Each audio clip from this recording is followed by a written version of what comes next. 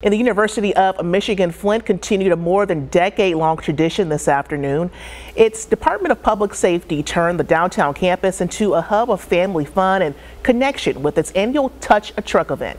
This was at William S. White building parking lot at the corner of 5th Avenue and Saginaw Street. And you can see there with plenty of police cars and fire trucks from several different organizations along with utility vehicles like tow trucks and cranes. It was the perfect opportunity for kids to explore the trucks and interact with law enforcement in a safe community-centric venue.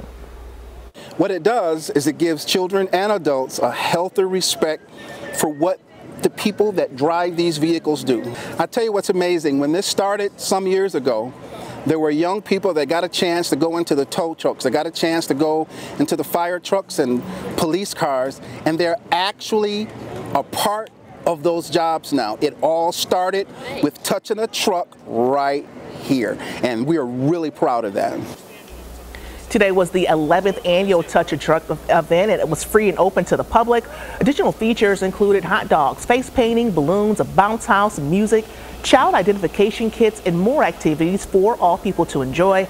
A returning highlight was the arrival and landing of a Michigan Medicine survival flight helicopter.